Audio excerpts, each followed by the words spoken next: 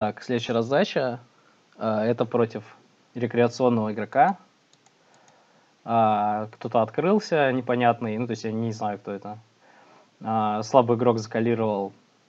Я это все посквизил. Сайзинг использую небольшой, ну, потому что мне не хочется в случае 4 бета выкидывать просто свои там 15 или 16 ББ, я как бы 13 лучше выкину. Поэтому, то есть, в любом случае у меня идея это или чтобы в идеале отвалился вот этот парень и играл с фишом, или, ну, как бы, если они заколют, то окей, хотя бы э, я не буду так сильно раздувать банк, потому что, ну, рука у меня там не самая лучшая для этого.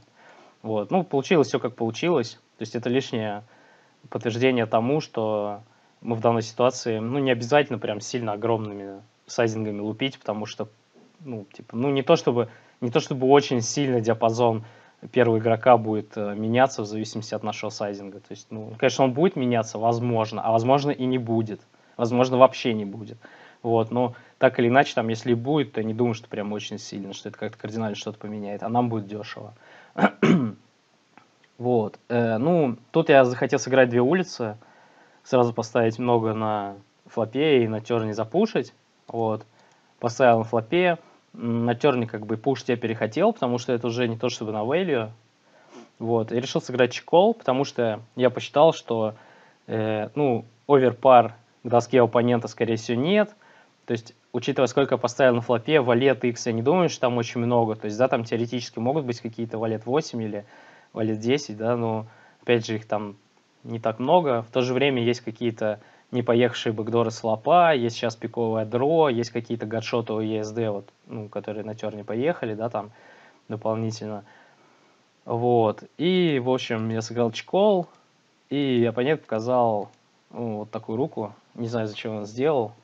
Э, ну, вот, как бы, он сделал.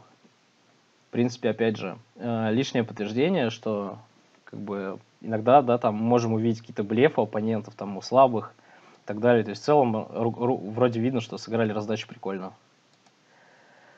Регистрируйся в покер-румах от нашего сайта и за активную игру получай на свой аккаунт Пекарь Stats Points, которые ты сможешь потратить у нас на сайте на индивидуальное обучение с тренерами, покупку видеокурсов, а также рассчитывайся PSP очками в нашем магазине с широким ассортиментом покер-софта и других полезных программ для покеристов.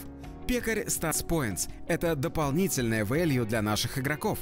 Подробности по ссылке пекарьстас.com/psp.